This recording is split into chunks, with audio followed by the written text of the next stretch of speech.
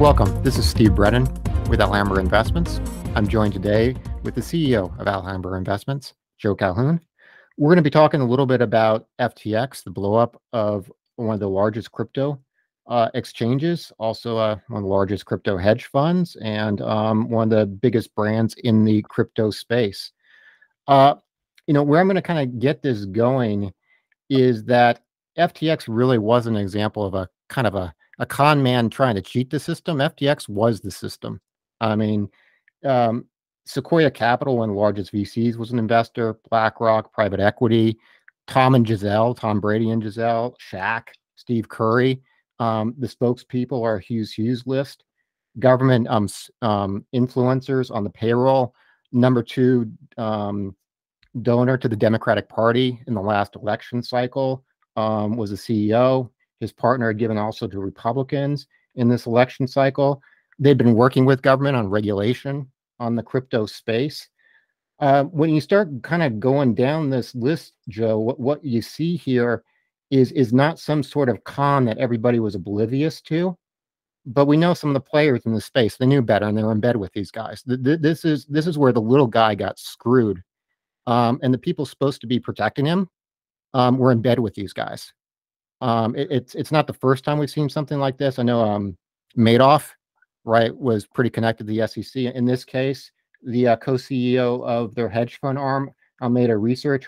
Her father had been the boss of the SEC chair at MIT.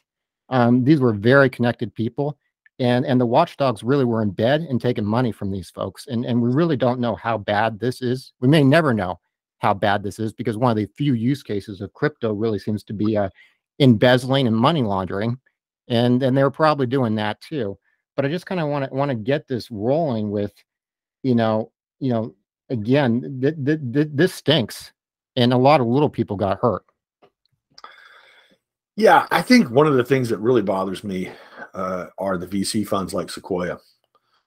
Look, uh, these are guys who are supposed to do due diligence, and I will tell you that I looked at what is purportedly a pitch deck for FTX that they used to raise money, and frankly, I, anybody that's been in this business for 10 minutes knows it's fraud. All you have to do is you look at first three or four slides and it's like, oh, okay, this is first of all, it was amateurish. Second of all, there was there was you know what? I will tell you this. Somebody sends me a pitch deck that's got multiple misspellings in the first three slides. Yeah, I'm done. Not happening. Uh, well, there, you can't even a story, um, a freaking spell check. I'm not interested. There's a story well, well that um the the, uh, the CEO was talking to Sequoia was playing video games, and the Sequoia yeah, actually, you know made a made an impressive note of that of uh, just how um um well they, um, they took um, that as a positive. Yeah. Oh, he can do this pitch and also play video games at the same time. Uh, the, the the you know Sequoia had this thing on their on their website where they talked about this meeting they had with him and essentially they didn't look at anything. They just talked to the guy and he people were like uh, on the call uh, when they was off the call i guess they were saying something like, i'm so impressed with this guy and i'm all in and all this stuff. I i, I don't get it. Um look i i'll put it this way. There's a lot of money missing.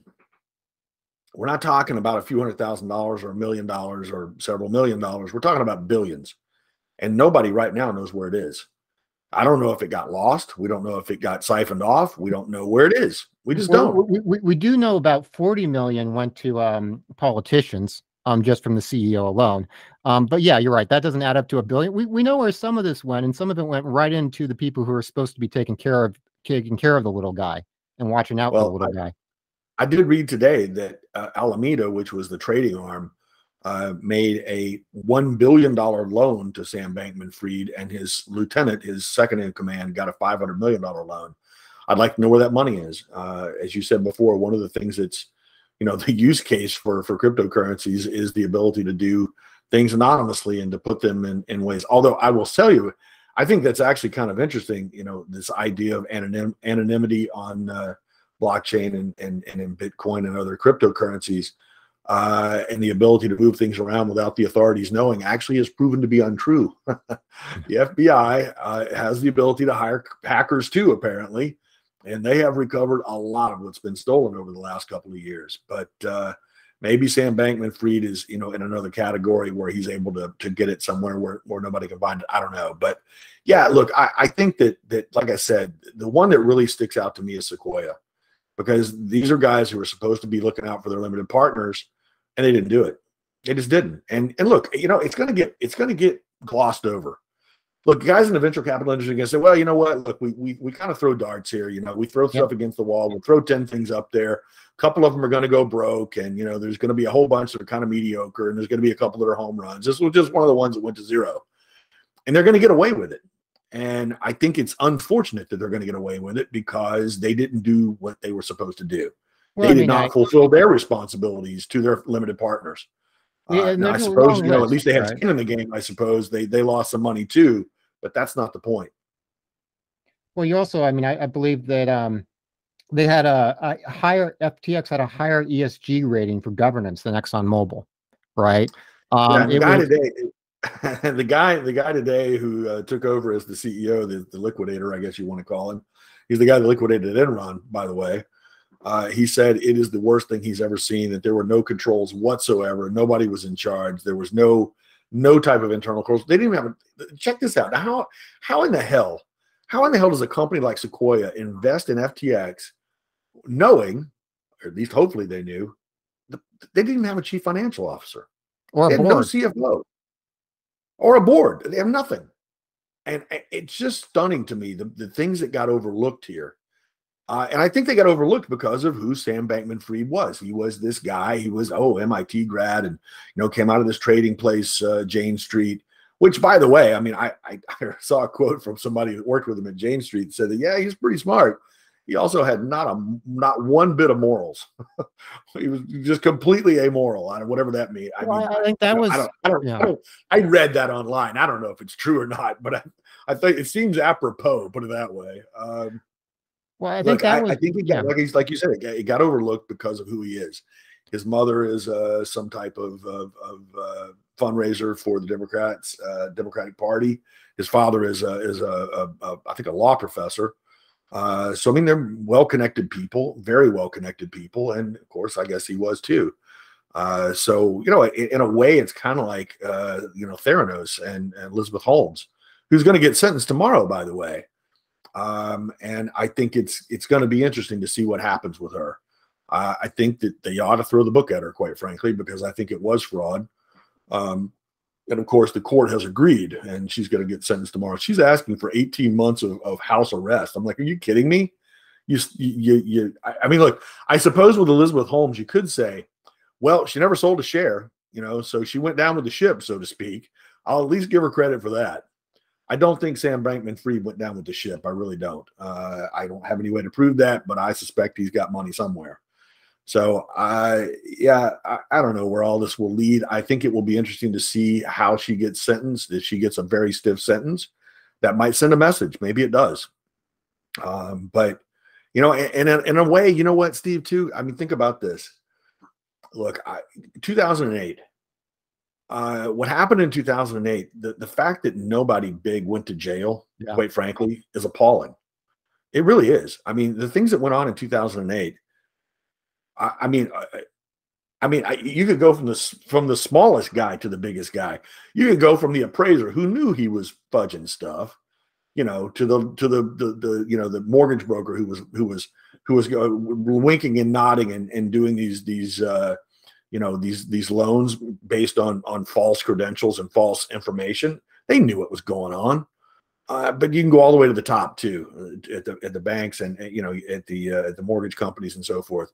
They all knew what was going on and they and they did it, and nobody went to jail. Uh, so I think if you have that type of environment and people say, "Well, hell, they got away with it. I'll just give it a shot too." What, what, what's the worst that could happen here? And I can't think of any really big people who have committed fraud that have gone to jail over the last 10, 12 years. I don't know. Maybe there are some. I just don't remember them. Uh, so I think it's going to be interesting. Elizabeth Holmes get uh, sentenced tomorrow.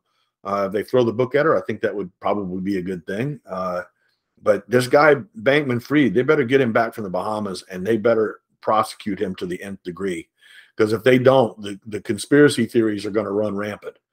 Uh, there already are. You know, people are saying, "Oh, well, he'll never get prosecuted because of all these politicians." Because if he gets prosecuted, then all this is going to come out about who the money went to and how it got spent and blah blah blah blah blah. So people are already saying that if you don't bring this guy and really throw the book at him, uh, bring him back and throw the book at him, it, it's gonna it's just gonna make things worse. Well, and, and part uh, of the problem here is some of the conspiracy theories are turning out to be right. I mean that, that that the problem with discounting the ones that are completely crazy is when when the, some of the ones that sound sound crazy turn out to be correct. I mean, this yeah, this just because you are paranoid doesn't mean they're not out to get you. yeah, I mean, you know, again, this, this was not a guy operating outside the system. This was a guy as deep inside the system as you can get. He he was he was.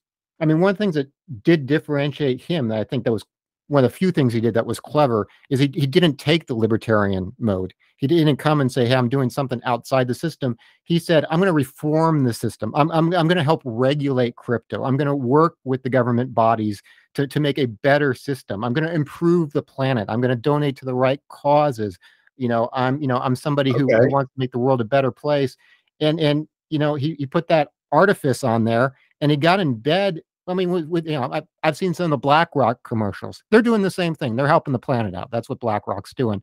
But we both know, you know that ain't what BlackRock's doing. That they're trying to make money any way they legally can. In his case, he was trying to make money any money any way he could. Um, and what makes it legal for BlackRock is they're going to have enough separation here that they'll be able to claim they didn't know better. But but but we know whether it's BlackRock or Sequoia, those guys were smart enough to kind of kind of sense what was going on here and just hope they could make the money before this blew up.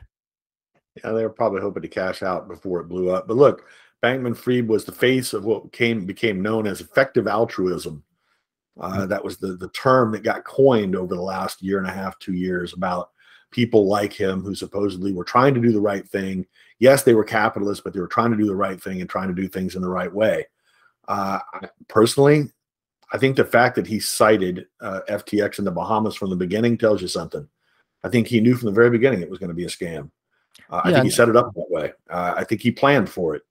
Uh, and he has admitted, I, well, I admitted, no, I take that back. Someone who who had a, an exchange with him by email leaked some emails this morning where he's going, yeah, it was all just a, it was all just a sham. It was just, you know, my public face, this effective altruism thing. The guy is, uh, well, you know, maybe he should be on the Fed. I think he's a sociopath. Yep. Uh, yeah. And so, I, you know, I'm going to date myself here, but back in the the dot com bubble, I was having a conversation with with with a, a top VC in Silicon Valley, uh, private conversation, and he just said, matter of factly, we're pushing these things through as fast as we can before this comes to an end. Um, you know, the the the, the kind of sad truth is that the people at the top, most of them, they know it. Now that now they're not going to go to jail. Um, they're not going to get arrested. Um, and, and by no, it, he wasn't saying I'm investing in frauds, I'm investing in criminal activity. He was basically saying, I know it's a speculative bubble. I know it's not going to be worth what we're selling it for. And I'm getting it out the door as fast as I can to make my money. And you know, the little guy can take the losses.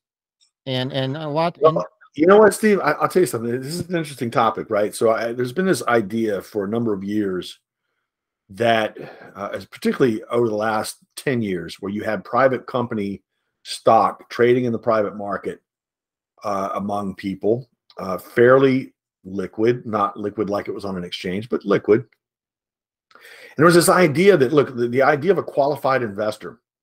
This has always been uh, the, the kind of the argument was, hey, you know, if you if you limit the number of people who can invest in these startups uh, to people who have a certain net worth and a certain income, then what you're doing is you're cutting out the little guy.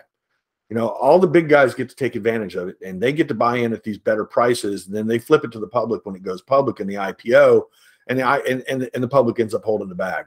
And I think you know, you look back over the last couple of years, the most obvious example of that was uh, were, were the SPACs and so forth.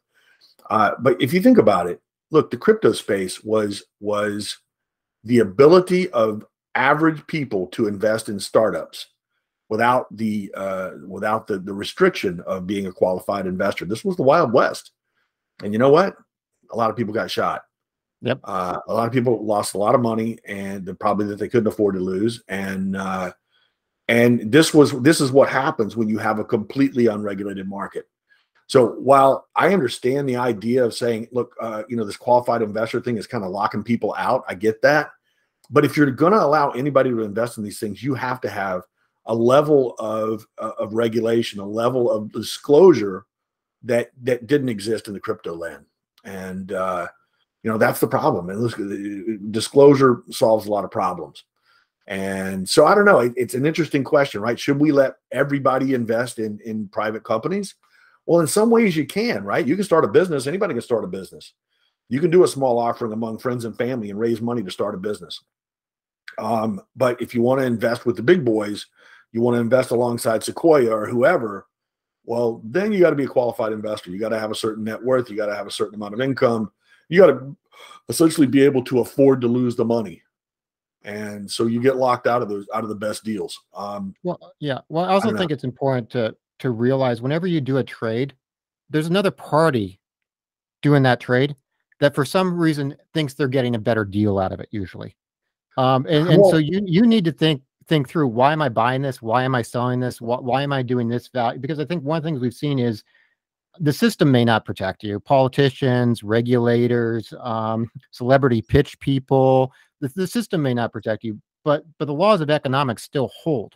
If something's worth something, it's ultimately going to be worth something, and if it's worth nothing, it's ultimately going to be worth nothing. I mean, I, I think your best defense here is is do your homework or have somebody who can do the homework for you that they have some level of trust in, but but don't trust the system. Well, this this idea that for every buyer there's a seller is obviously true in public markets and all markets, right? So I always wonder, do people think about this? Say at the bottom in 2008, market just comes unglued, and you got to bounce. I don't know if you remember, uh, you know, the, the specifics. You got to bounce in December, and then you just failed again in, in, in January, February. You didn't make the low until March. I'm, I'm going to tell you something. 2008 wasn't was was bad, but the worst part of it, I think, the absolute worst part was January and February of 2009 because it just felt like, good God, man, this thing is never going to end. So here's my question: If you were a seller during that time, who do you think was on the other side of the trade? Yeah. Who was doing the buying? You know and then and then you have you know the same people will come out and go oh you know there's always these insiders who know and they they get they get inside info. No they don't. In most cases the guy that you're selling to when you're selling at the bottom he's just some guy with with with guts. Some guy with faith in the system some guy with faith in capitalism faith in in, in america whatever it is. But he's got guts. And that's what it takes when you're in a bear market to buy at the lows most people can't do it um, and the same thing at the highs. Listen, if you're buying at the high, you know, if you're buying in in in December of 2021, who were you buying from? Who was that guy? Because he was pretty damn smart. You know what? He's going to be the same guy you're you're you're selling to when you're selling at the bottom. That's who he is hopefully it's me. we were mm-hmm. certainly selling in late 21. Hopefully we'll be the ones that buy on the on the on the final low in this bear market. We did some buying over the summer, but not a lot. I've said all along since the made those lows in June that you need to think about buying here. This is you're down 25% already. It's not time to be thinking about selling. You got to start thinking about buying and you got to look around. And you know what? We're starting to see differentiation in the market where, you know, now you can buy things based on value based on what it's really worth.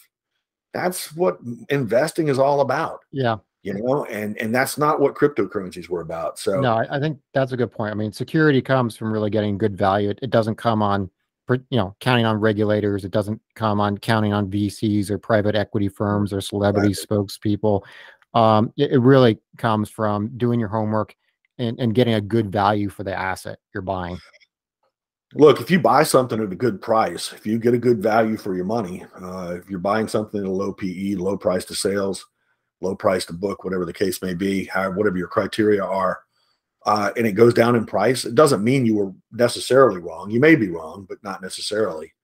Uh, if you're really confident in your ability to analyze the company, you do what Warren Buffett does and buy more. Yep. Um, so you know it, it's a you've got to be confident in your analysis, but if you are, that's what you do. Um, that's why that's why the other thing too is I and this is another thing that I've had problems with in talking to investors is this idea of all or nothing. It's like I'm going to be all in stocks or all out of stocks. I don't, I don't understand that mentality. It just doesn't even make sense to me. It's the same thing with crypto, right? So what was the thing there for a while was uh, good luck staying poor. I saw one today on on on Twitter that said, yeah, the how do they put it? Uh, tired, good luck staying poor, and uh, hot was good luck staying out of prison. Uh, so all those guys that were saying good luck staying poor, yeah, I, I I'm I'm not poor.